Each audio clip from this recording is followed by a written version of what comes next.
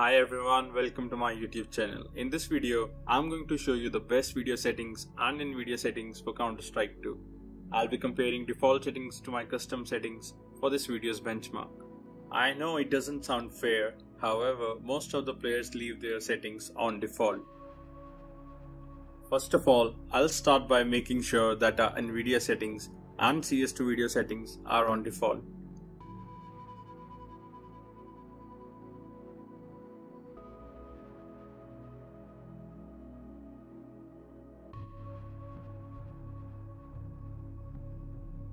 By default, my CS2 video settings were on high.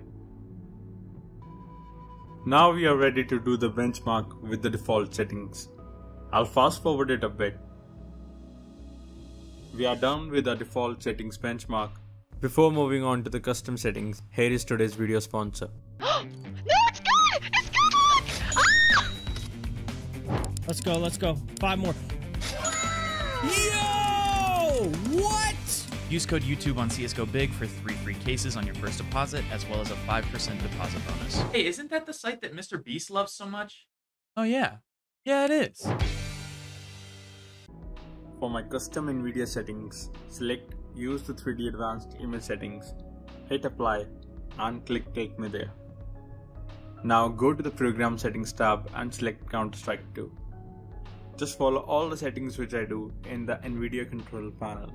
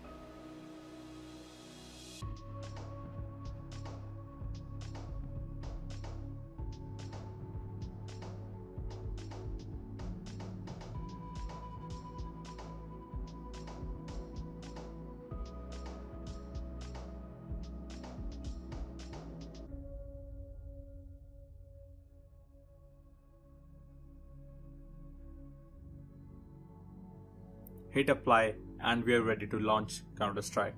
Now, once you open Counter-Strike, go to advanced video settings.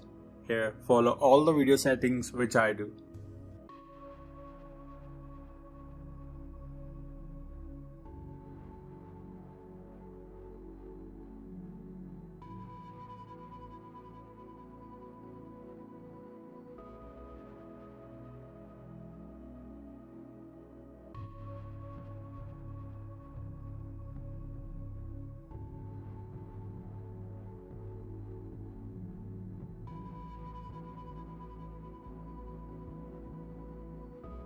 And we are ready to do the benchmark with our custom settings now.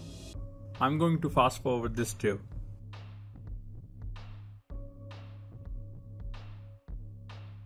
Benchmark is done, let's compare the results.